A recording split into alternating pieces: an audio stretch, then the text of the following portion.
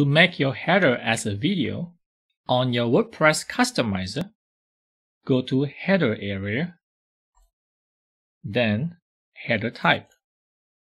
Select video, then return and go to header media and here is where you upload your video. I'm going to upload this video here.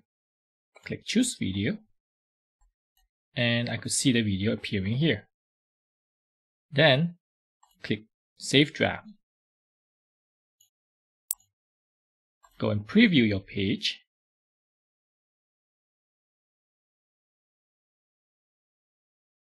And this is how the video looks like on your header.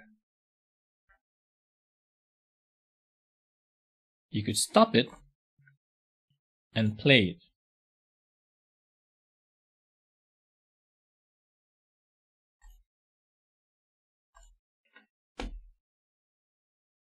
You could also enter a YouTube video on this box.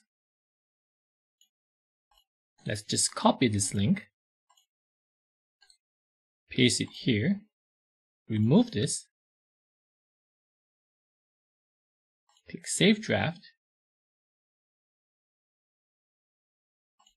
and refresh.